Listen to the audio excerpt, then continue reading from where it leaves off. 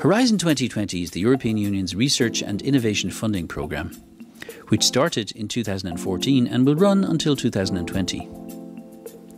It supports researchers from public and private organisations, including small and medium sized enterprises, enhances EU international research and third country participation, and integrates social sciences and humanities. Funding opportunities are announced in two year work programmes containing calls for proposals.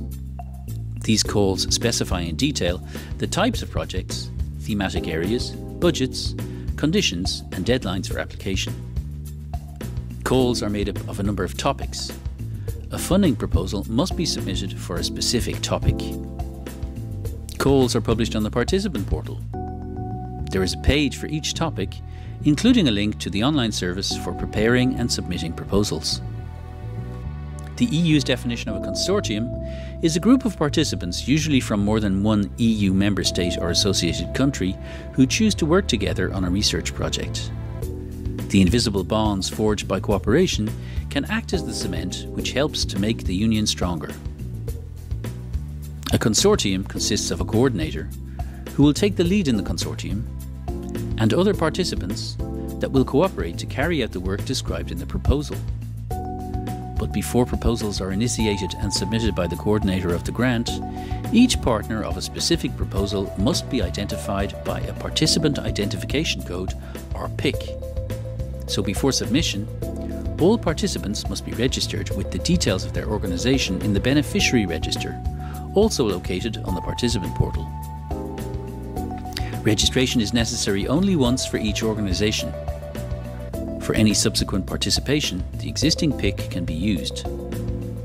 As you're probably beginning to understand, the participant portal is the one stop shop for our external collaborators, where they can see the proposal calls, register their organisation, submit a proposal, and interact with the EU should their proposal be chosen for funding. Submitted proposals are initially vetted for eligibility. Eligibility criteria include, among others, relevance to the published call and submission before the deadline.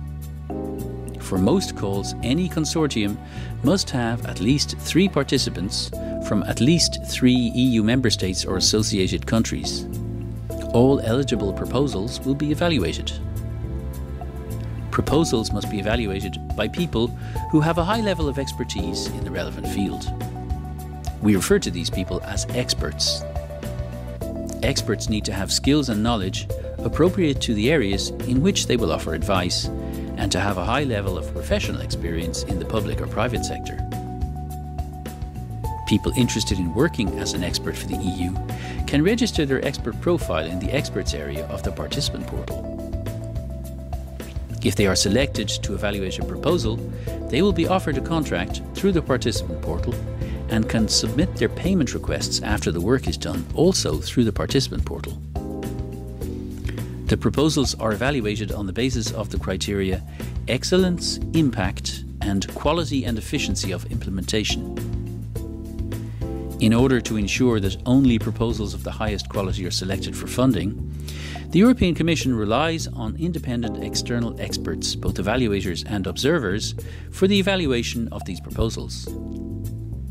At the end of the evaluation phase, the proposals submitted for a specific call are ranked.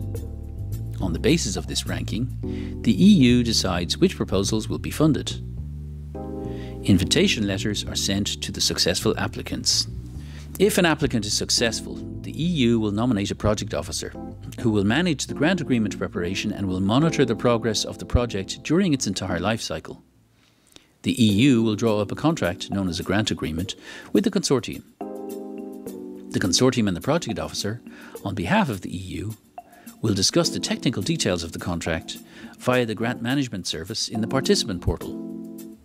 When both sides have agreed upon the contract, it can be signed electronically in the participant portal. The project is then underway. It starts with a pre financing payment by the EU to the consortium to cover startup costs. A small percentage of the grant is placed in a guarantee fund. This fund is to offset losses caused in the event of a participant becoming insolvent during a project. The duration of the project is divided into several periods and specified in the grant agreement. At the end of each period, the consortium submits a report to the project officer with the results and the costs incurred during this period. The EU conducts a review using independent experts if required to ensure that all the agreed deliverables have been provided to the standards agreed in the grant agreement. If this is the case, the consortium is paid for the period. This process continues for each period until the project is completed. At the end of the grant, the consortium submits a final report including results and publications, if any. Then the final payment is calculated, including the money placed in the guarantee fund the project is now finished. However, during the full duration of the contract and up to two years after the grant is terminated, any participant can be audited by the EU Audit Service in order to check whether the costs declared are in line with the financial provisions defined in each specific grant agreement. This is to ensure that all public funding is properly accounted for. Note that it is always a beneficiary who is audited and not a project. A summary of the final project results and conclusions is made public through Cordis, a dedicated website used to disseminate all EU funded research activities.